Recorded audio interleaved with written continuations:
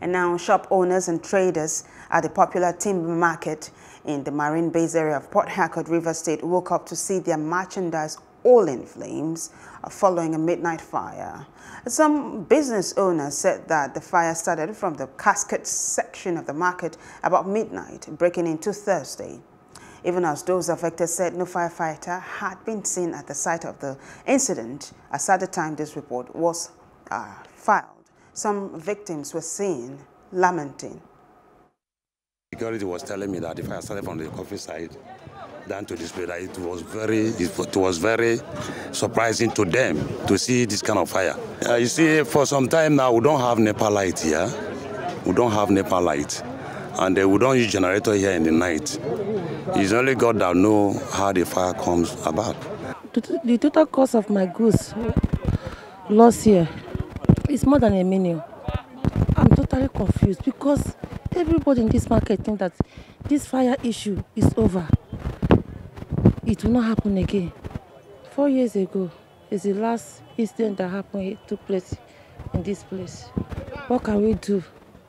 The money, everything have lost. You can see there's no fire is still catching. Look at fire. You can see fire from there. They're still catching. No fire service, no help, no, no there's nothing. So I don't know what is happening.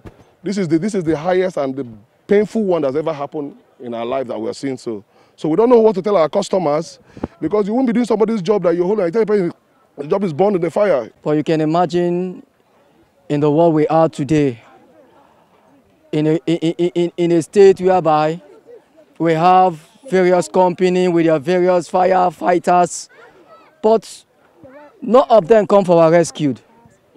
Just individual, we try our best, but yes, the fire was beyond our control. And if you can see, the whole place is being burned down. And we're just looking on to God. They called on the Rivers State government and all relevant stakeholders to come to their aid by rebuilding the market and providing financial support so that they can start all over again. We are begging, let government assist us. Let the state government come to our aid. And this is early time of the year where everybody is trying to manage itself from COVID-19 to make sure things work for people. And here we are and this incident occurred. It is painful to all of us. We have lost someone. It's this place we are using to feed our family and to train our children to pay school fees. We would like for, we we'll pray for an assistant for them to come and be on our aid to assist us.